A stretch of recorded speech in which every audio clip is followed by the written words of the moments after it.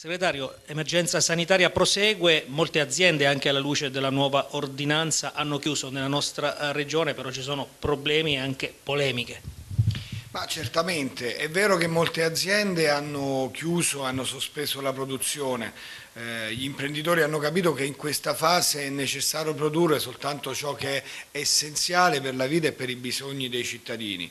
Ci sono alcune aziende che invece insistono nel voler mantenere aperta la produzione eh, con gli stessi ritmi di sempre, eh, mettendo a rischio la salute dei lavoratori e questo è inaccettabile. Su queste aziende abbiamo indetto e stiamo indicendo azioni di sciopero. Domani avremo il primo tavolo in videoconferenza con l'assessore al lavoro Fioretti perché eh, dovremo mettere eh, in piedi l'accordo regionale per dare gli ammortizzatori a tutte le persone che in questo momento eh, hanno sospeso la loro attività lavorativa. Il nostro obiettivo è di coprire tutti i lavoratori, sia con gli strumenti ordinari che hanno avuto da decreto nazionale delle deroghe, mi riferisco alla cassa integrazione guadagni ordinari, al fondo di integrazione salariale, ma poi con la cassa integrazione in deroga dovremo coprire tutte quelle situazioni che normalmente non sono coperte dagli, dagli degli ammortizzatori. È importante coprire tutti i lavoratori che hanno perso in questo momento temporaneamente per fortuna il, eh, la loro attività lavorativa. Dall'altra parte c'è un tema importantissimo che è quello che i soldi degli ammortizzatori sociali, il pagamento degli ammortizzatori sociali avvenga eh, nei tempi dovuti ai lavoratori. Siamo preoccupati che con il pagamento diretto dell'Inps ci possano essere dei ritardi. Ecco, su questo dobbiamo lavorare sulla regione, con la regione e con eh, gli istituti bancari affinché i lavoratori possano avere eh, certezza del pagamento degli ammortizzatori sociali. C'è tanta preoccupazione per il futuro, c'è preoccupazione per tutti quei settori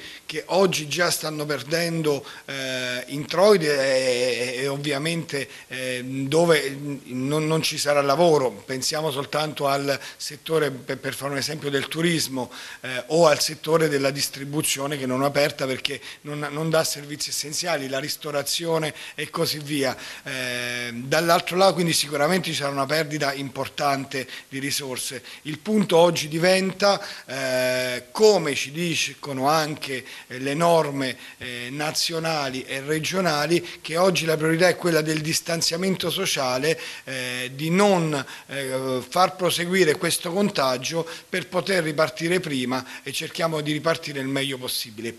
C'è anche la problematica, segretario, che riguarda alcuni lavoratori che sono risultati positivi al Covid-19, lavoratori poi da seguire eh, nel corso delle settimane e dei giorni. Sì, ovviamente quando si trovano dei lavoratori eh, positivi al Covid-19 è necessario innanzitutto che le ASL mettano immediatamente in funzione tutta la procedura per tracciare e per avvertire tutte le persone, gli altri lavoratori, oltre che i familiari eh, eh, e tutti, tutti, i contatti che queste persone positive, trovate positive, hanno avuto. Questa cosa lo devono fare le ASL e le aziende. È importantissimo per evitare che, come dire, eh, eh si, eh, si possa sospendere la catena di trasmissione del virus e ci risulta che questo non sempre viene fatto con le dovute attenzioni.